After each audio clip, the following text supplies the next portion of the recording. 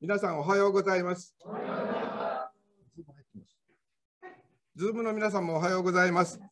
えー、ただいまご紹介いただきました多和田と申します。あの私、えー、このですね、えー、モーニングセミナーでお話しさせていただくの3回目なんですけども、会員としては初めてであります。えー、今日はですね、えー、万人幸福のしおり第2条の苦難福門からですね、それに関連した私が、えー、10年ぐらいリサーチしたことをですね、皆さん方と共有させていただきたいと思います。えーと、これは、えー、私のですね、えー、今日のタイトルは、逆境を克服して、えー、充実した人生をということでありますが、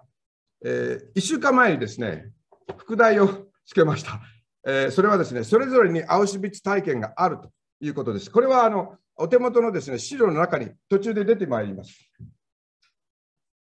じゃあ、共有をいたします。共有ということがないですね。はい、じゃあ共有をするんですね。こちらでいいですか、ね、はい、そうです。はい。じゃあ先生、これで。これを。ここで、えー、と、スライドショー、こっちですね。はい、スライドショー。はい、じゃあここです、ね。はい。はい。はい、じゃあお願いいたします。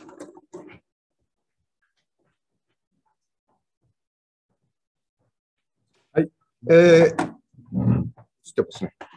えー、人生はですね、あの逆境にあの溢れてますので、えー、どんなにですね才能豊かな方であってもですね、それらに圧倒されてたり、打ちひしがれていたんではですね、せっかくの才能を発揮することができません。ですから、この逆境を克服する、乗り越えるですね、術を、すべての人があの持てた方がいいと、私は思っております。で、今日はですね、えー、2つテーマがありまして、1つがですね、この逆境を克服するということをですね、えー、災いを服に転じるという言い方もできますね。ですから、それが1つ。それからですね、えー、後半でですね、あの右脳の活用ということでお話をさせていただきたいと思います。えー、災いを服に転じるというこの中でですね、セレンディピティ、レジリエンス、そして PTG ということをですね、ご紹介させていただきたいと思います。さて、えー、この災いを服に転じるということをですね、最近、えー、セレンディピティという言葉を当てているんですね。で、セレンディピティに関してはですね、今日ちょっと時間がありませんので、お手元の資料にまたつけてありますので、またお時間のあるときにお読みいただきたいと思います。で、私がですね、このセレンディピティの獲得方法をここでですね、お話しするよりもですね、それを実際に獲得した方々のロールモデルをですね、ご紹介した方があの早いと思いますので、まずはですね、福島聡さん、この方、あの8月のですね、お話でもあの出させていただきましたけども、全盲ろうの方です。えー、9歳で全盲になってですね、18歳で全盲になりました。聴覚完全に失ったんですね。その後ですね、えー、その人生の過酷さにとても苦しんだんです。なぜ自分が二重苦を背負わなければいけないんだ？なぜ自分なんだ？と。しかし、こういう考え方って苦しむ一方だったんですね。ある時からですね、考え方を全く変えたんですね。私たちはですね、偉大な存在によって生かされている。であるならば自分が体験している今この苦悩もですね、その存在が与えたものであろうから何か意味があるに違いない。この苦悩をかいくぐることでですね、自分が光り輝く存在になれるかもしれない。そういうふうに考えたんだそうですね。そうしますとですね、人生って不思議と開けてくるんですね。この方2008年から東京大学先端科学技術センターの教授をされています。いまだにもちろん現役です。世界の大学にですね、全盲の教授はですね、何人かいらっしゃるんです。しかし、全盲ろうの、教授はですね、えー、現時点ではこの方お一人のようですね。しかも、まあ、我が国を代表するです、ね、東京大学ですからね、まあ、文字通り光り輝く存在になったと言って過言ではないと思います。で、えー、奇跡の人でですね、おなじみのですね、ヘレン・ケラーはですね、人格は平穏な中で簡単に形成され、成長することはないと。試練と苦悩を通してのみですね、魂は強化され、大使は鼓舞され、成功も達成されるというふうに語っております。でこちらの4人の方々もですね、それぞれセレンディピティを獲得した方なんですね。えー、こちらのお二人はですね、アメリカ人の女性でして、ストリート・チルドレンだったんですね。それがですね、そこから、えー、ハーバード大学を卒業するというですね、えー、この奇跡的なことをやってのけました。でこちらの方をですね、ちょっとご紹介しますと、リズ・マレーさん。この方ニューヨークのですね、スラム街の家庭で生まれてですね、両親が麻薬常習者です。えー、で、えー、まあ、この、このリーズ・マレーさんをですね、えー、養育する能力ないんですね。で、リーズ・マレーさんは考えたんですよ。両親が麻薬常習者であるっていうのはもう自分にはどうすることもできないと。だけど自分の未来はですね、自分が日々できることを毎日や最大限やることでですね、変わるかもしれないっていうふうなことで、勉学に励んだんですね。学校の先生方も、えー、協力してくださいました。そして、成績どんどん上がってですね、ハーバード大学を受験を進められてですね、見事に合格するんです。しかし、親にはですね、その、えー、授業料400万ぐらいしますからね、払う能力ない。で、このことがですね、ニューヨーク・タイムズの記事になったんです。そしたらですね、全米から2000万の寄付が集まって、あ無事に大学を卒業して、その後ですね、マニフェストリビングというですね、えー、この団体を立ち上げて、全米のですね、不遇のですね、若者を、えー、そのサポートする活動でですね、今、一生懸命あの活躍されていらっしゃいます。この方はあのご存知の方も多いと思いますけども、大平光代さんですね、中学の時にですね、いじめなどでですね、同級生のいじめなどで自殺未遂を図るんですね。えー、まあ、未遂で終わってよかったんですけども、えその後荒れた生活でですね、一時はあの裏の,、えー、その世界の人と寝食を共にしたということもあったんですね。しかし22歳の時に養父と出会って、養父にですね励まされてですね、宅建の資格を取ってですね、司法書士の資格を取ってですね、しかも中学しか出てないんですけども、司法書士、司法書士、弁護士さんも、司法試験弁護士さん目指して、目指して、法輪が起こってますね。えー、見事にですね、合格するんです。弁護士さんですね、今ね、活躍してます。で、この方は、まあ、全員がご存知だと思いますけど、ホーキング博士。ALS というですね、筋萎縮性側索硬化症という神経難病ですね。どんなにですね、人生が困難に見えてもですね、何か常にできることがある、達成できることがあるということで、その障害に制限されない生き方のお手本を示してくださった方ですね。で、これ、これ進む。で、あの、年を重ねるということはですね、誰にとってもですね、逆境の一つかもしれません。えー、坂村市民という仏教詩人として知られていた方がいまして、この方がですね、えー、冬が来たらという本あの詩を書いてるんですね。で、この冬が来たらを読んだですね、クリスチャンのですね、渡辺和子さんという方が、置かれた場所で咲きなさいという本の中に書いてるんですけど、この冬が来たらは素晴らしい詩だ。同時にですね、この冬をですね、老いに置き換えてですね、老いが来たらにして読んでみてくださいって書いてありまして、お手元のですね、資料の一番最後にですね、その冬が来たの全文をですね、私がですね、あの、県立図書館から探してきて、あのコピーしたのをつけてありますので、また、さらさらにその冬が来たのを味わっていただいてですね、老いが来たのも味わっていただきたいと思います。で私にとってですね、このセレンディピティを発揮したですね、まあ、グランドチャンピオン的な方がですね、こちらのですね、えー、ビクトル・フランクルという方です。ご存知の方も多いと思いますけどもえ、精神科のドクターだったんですね。しかし、ユダヤ人だったんです。そのために、第二次世界大戦中にですね、ナチスに拘束されて、かの悪名高きアウシュビッツなどの、えー、4か所などをはじめとして4箇所をですね、転々とさせられたんですね。そして、あのその常に死と背中合わせのですね、地獄の3年間を生き延びた、まあ、いわゆるホロコーストの生き証人の一人なんですね。その解放された後ですね、えー夜と霧ですとか、それそれでも人生にイエスというなどの名著を数多く残されましたね。お読みになった方もあのいらっしゃると思います。で、まあ、おそらくですね、そのアウシュビッツはですね、この人類史上最も過酷なですね、その生き地獄、そういう条件だったと思うんです。そこをですね、生き延びたフランクル先生、何と言ったかというとですね、人それぞれにですね、その誰にとってもですよ、アウシュビッツ体験があると。そういうふうに言ってるんですね。皆さんのアウシュビッツ体験は何だったんでしょうか？あるいは何か何かこれからあるかもしれません。まあ、ここにですね、あの私がですね、ちょっと書いてみたんですけども、例えば落第とか内申書とありますね。これあの、2016年、5年前にですね、広島の中学生で、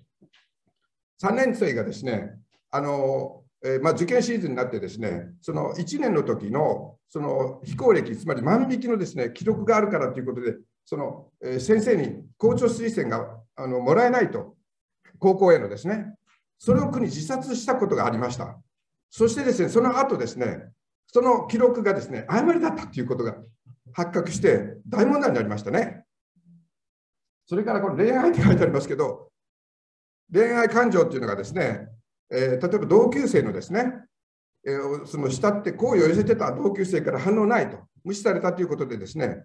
えー、その逆恨みしてですね、自宅に忍び込んで、両親をですね、刺して放火するという、まあ、これ、私どものすぐ身近で起こりましたね。そういうことって、だからその本人その本人たちにとっては、アウシュビッツ体験だったかもしれないんです。そこまでは理解できます。でももっとやりようがあったんじゃないかというふうに思うんですね。で、ビクトル・ファランクル先生はですね、どんな時にも人生には意味があると。たとえあなたが人生に絶望しても、人生があなたに絶望することは決してありはしないと。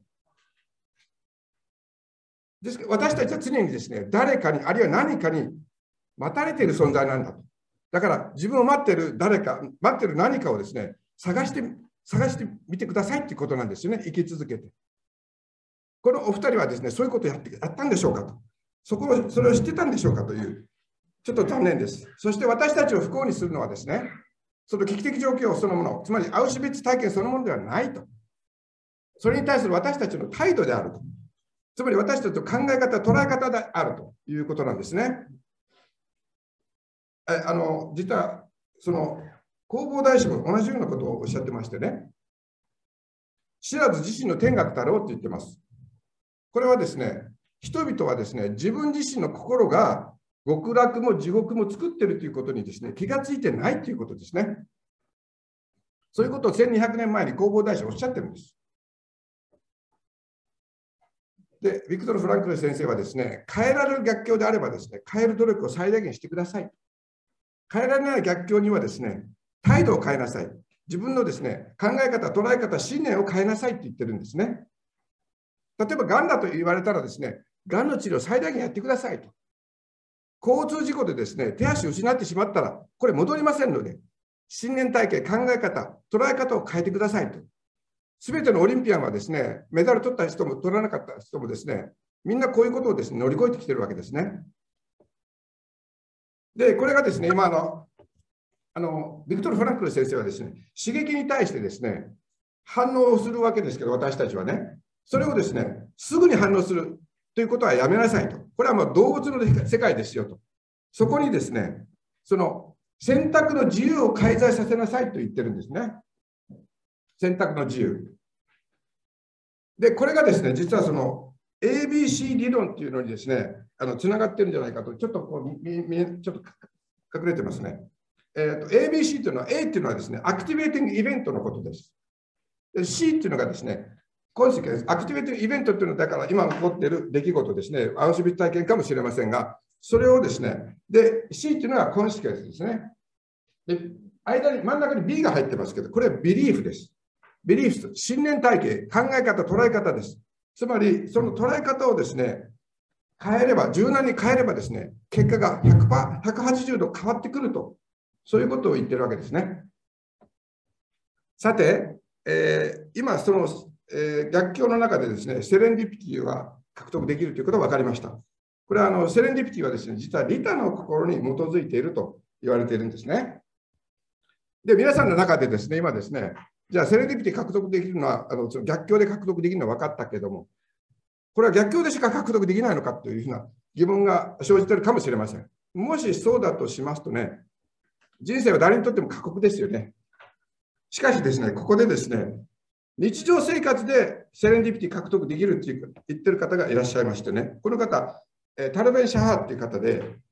えこのポジティブサイコロジーという心理学の一派があるんですけども、この世界的な権威の方です。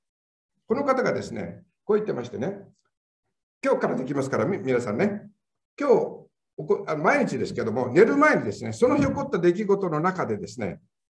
5つ以上ですね、ありがたいと思ったこと、感謝すべきことをですね、あげてくださいと。まあ、日記に書いた方がいいんでしょうけども、あの頭の中でですね、その念じることでもいいと思うんですけども、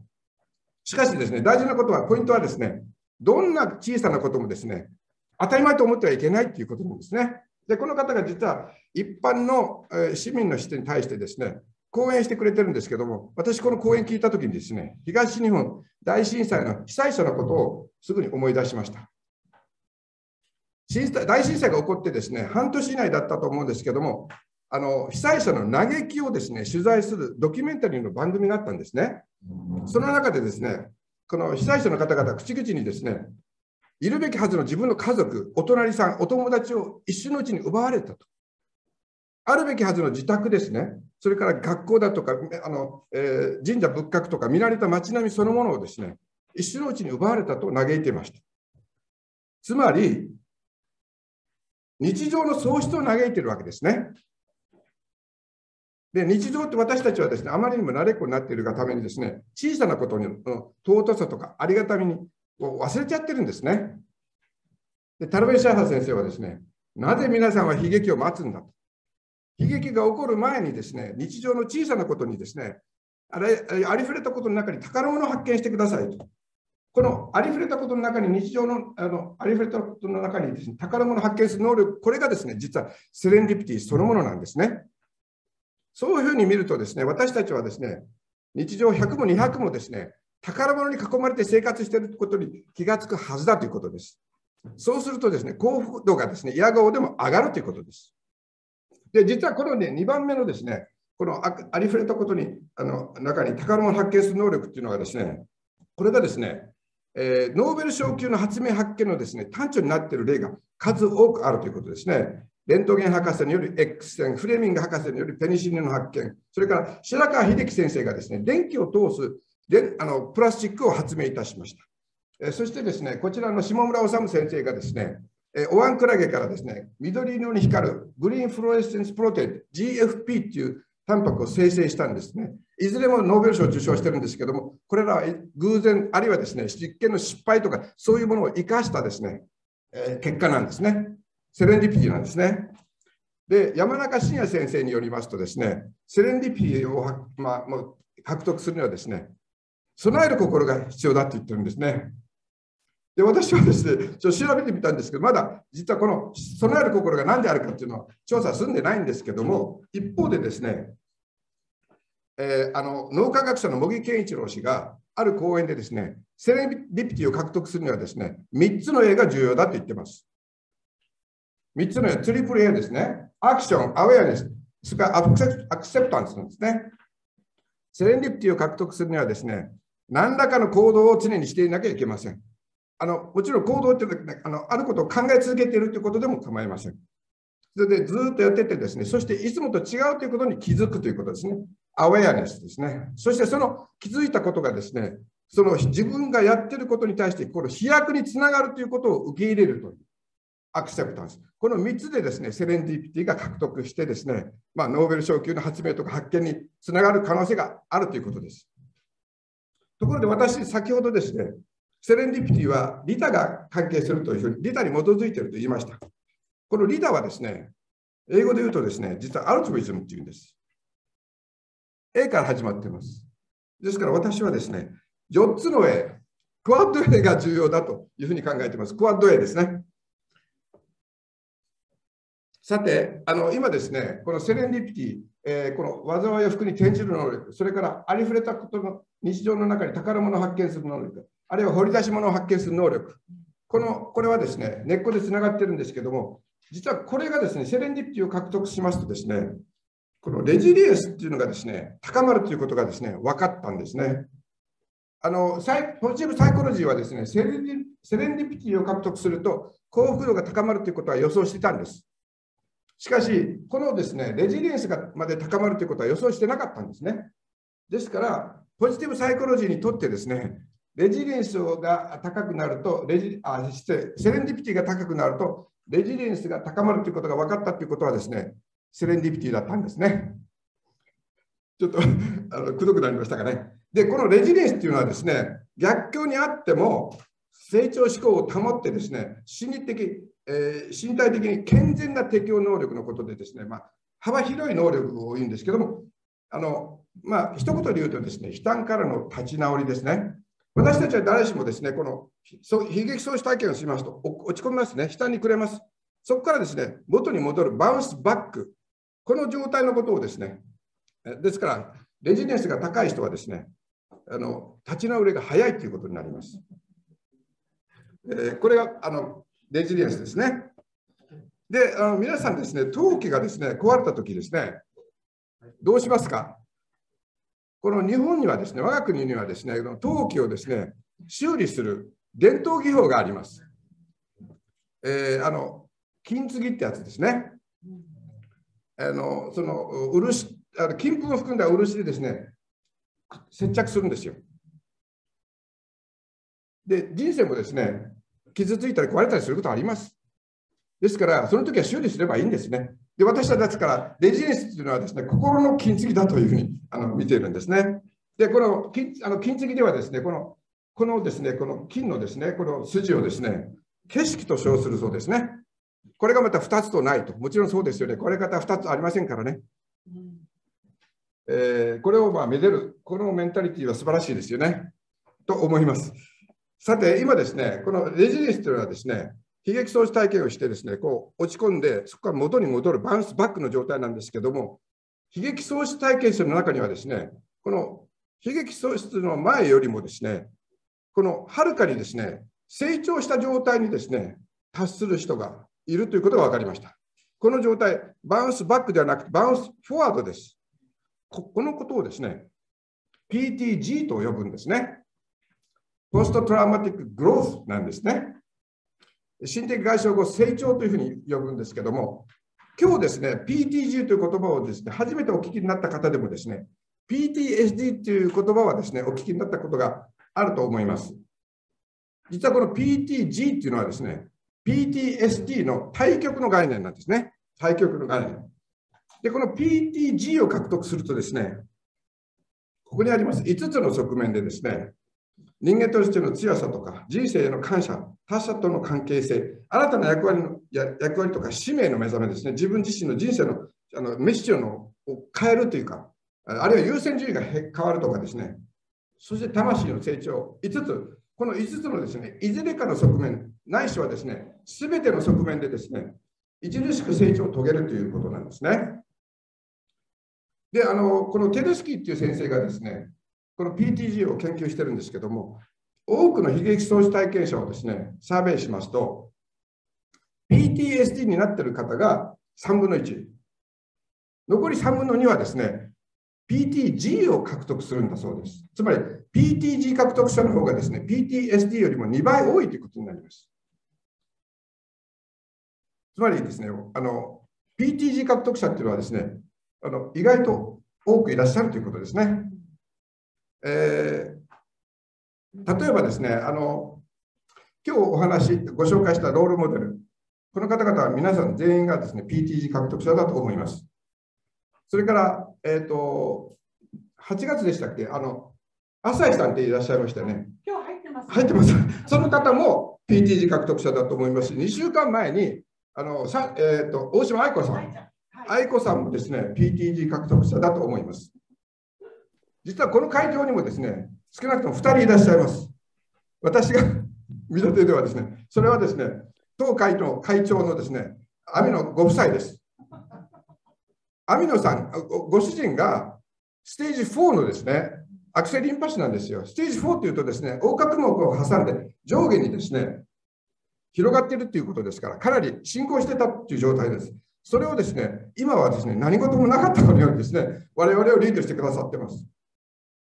で、喜びと感動の輪を広げようというふうなことをね、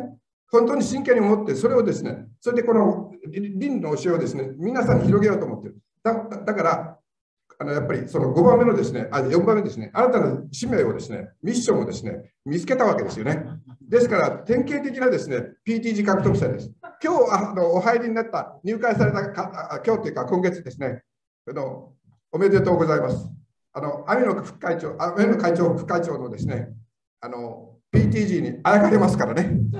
私も2ヶ月前に網野会長のご夫妻の、えー、感化を受けて、えー、入会させていただきました。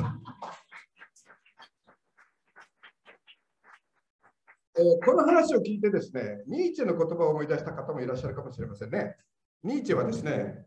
私たちを破壊する一歩手前の負荷が私たちを強くするというふうに言ってます。でも、この日本語のですね、表現はですね、まだ遠曲なんですね、柔らかいんです。ここにですね、あの原著が、原著というか、まあ、ドイツ語ではなく英語ですけども、That which does not kill us makes us stronger って言ってますから、それがもし私を殺さ私たちを殺さなければ、私たちを強くすると、そういう意味ですから、ものすごい強いですね、あの、その、なんていうんですか、強烈な表現なんですね。でも、PTG 獲得者はですね、その修羅場をですね、あのそのかいくぐってきた方ですから、もうそれ以降のですね、あのいろんな悲劇には、びくともしないでしょうね。さて、丸山敏夫先生はですね、万里幸福のしおりでですね、あの新約聖書のあの一節をあの引用してますし、それからあの戦国時代ですね、毛利家と対峙したですね、天子家のですね、家臣、この山中幸森、通称鹿之助ですね、鹿之助のですね、願わくば我に七難八苦を与えたまえということを引用してますね。そして、苦難の黒幕が開かれたとき、その奥には明るい幸福の舞台が用意されているのである。苦難は幸福に入る狭い門であるというふうに、えー、書いてらっしゃいます。昭和24年ですよね。この時点でですね、こういうことを書かれたということはですね、本当に村山敏夫先生は洞察力すごい方だなと、それ改めて感服いたしております。さて、残りの時間でですね、えー、脳科学のですね、活用、右脳の活用ということをちょっとご紹介しましょう。えー、ここにですね、あの本がありまして、えー、奇跡の脳っていう本です。これあの日本語訳ですね。こちらがオリジナルのマイストローク・インサイトという。著者はですね、こちらのジルボルティ・テイラーさん、テイラー博士。この方ですね、ハーバード大学で脳科学を研究してた方なんです。現役の脳科学者だったんですけども、えー、38歳でですね、左側の広範な脳出血を起こしました。で、えー、ああの言葉喋れなくなって、相手の言葉も理解できなくなった。一瞬で赤棒になったっていうふうに表現してますけど、その状態からスタートしてですね、8年かけて100%元に戻ったという、その闘病期です。えー、しかしですね、奇跡はあの治ったことではないんですね。その赤ん坊になった時にですね、自分の感覚としてはですよ、その本人の感覚としてはですね、自分はその幸福の真っ只中にいたと。言ってるんですね。どのくらいの幸福かというとですね、それをですね、ニルバーナと呼んでるんですよ。ニルバーナっていうのはですね、お釈迦様が到達した涅槃です。なぜそうなったかということなんですけども、あの左脳がですね、えー、後半にこう低下しました、機能がね。ですから相対的に右脳優位になっているわけですね。この右脳優位になった状態で、その得られた、あ得られたですね、その経験がですね、ね、ニルバーナということなんです。で、この本はですね、この脳科学者がですね、自分の脳卒中という病気を通してですね、左脳と右脳の機能を解説するですね、脳科学書だと私は見ているんですけども、この、えー、本に従ってですね、えー、この左脳と右脳の機能をですね、えー、ここに列挙してみました。えーまあ、右脳はですね、今日いろいろトラブルありましたね、トラブルがね。その予定してないようなことが起こるときにですね、臨機の際を発揮するのがです、ね、右脳です。えー、まあ、あのこれはお手元の資料にもありますからね、例えば入学試験。入学試験はですね、採点の都合上ですね、みんなが同じような答えになるんでないと採点できませんね。もちろん、だからそのなあの問題に難度をつけて点数でその合格、不合格をは、まあ、決めるわけですね。しかし、我々のシステム、今、全世界そうなんですけども、あのですからあの、この入学試験3を見てるんですけども、これは入学だけじゃなくてですね、社会のシステムとしてですね、左脳が優れている人をですね、優遇するようなシステムになってるんですね。ですから、まあ、あの現代社会はですね、左脳優位社会というふうに言えると思います。これは、あのまあ、例えばアマゾンの奥地は別かもしれませんけど、貨幣経済がですね成立しているところは、まあ、ほとんどの国、こういう左脳優位社会なんです。ところがですね、日本ですとか韓国はですね、それを通り越してですね、左脳変調社会に入ってるんじゃないかと。その弊害がですね、いろいろ起こっていると。そういうふうに思うんですね。えー、例えばですね、この佐野変調者、あ、これはちょっと飛ばしましょうか。また、あ、えっ、ー、と、これちょっと飛ばしましょう。えっ、とですね、佐野変調社会ではですね、そのレールからですね、一歩でも踏み外すとですね、落ち落ちあの、えー、あの落語者とかですね、落ちこぼれとかですね、そういうドロップアウト、そういうふうにレッテルを貼られちゃうんですね。ちょっとハウリングしてますけど。あのであの広島県の中学生、あの子はですね、まだ実は受験に失敗してないんですよ。失敗してないんですけど、受験に失敗するかもしれないという恐怖心、こういうことでですね、つまりそのドロップアウトにというレッテルを貼られるのがですね、非常にアウシュビッツ体験に思えたんじゃないかと思います。でもう少しですねあの、そういう寛容さがあるような社会であればですね、あのこんなことにはならなかったんじゃないかと。まあ、あの実はあの私の家でですね、我が家でですね、このことが話題になりました。で、実は私の子供がですね、まあ、幸いというか、あの出来が悪かったんで、あの受験失敗したって、またあのやり直せばいいと。で、自分が好きなことをですね、見つけて、とにかく一生懸命挑戦しろというふうなことをずっと言ってたんですね。そして、このあの5年前のですね中学3年生のあの自殺が我が家で話題になったときに、その息子が日曜日に私に言うんですよ。父さんがもっと厳格な考え方、つまり佐野編長の権限のような考え方してたら、僕はもう5、6回自殺したかもしれないねって言うんですよ。私、ドキッとしましたね。で逆に言えばですね、そのそういうあの佐野編長の権限のような考え方じゃなくてよかったなと、そういうふうに思ってます。で、あのその19歳の少年ですね、甲府のですね、もっとですね、その自分に対して、あるいは相手に対してですね、社会に対してどうしてもっと寛容さをですね、示してくれなかったのか。えー、この今日お話したリタとかセレンディピティ、レジリエンスはやっぱり右脳がですね、えー、のが司っていると思われます。このこれをあの、まあこ、れがですね、右脳が代表しているものを書きましたけども、寛容さもですね、右脳がですから、右脳をもう少し活用することでですね、もっとですね、その社会にですね、社会というか、あの寛容な、そして、えーえー、思いやりのあるですね、社会ができるんじゃないかと、そういうふうに思っています。私、今ですね、右脳を強調しましたけど、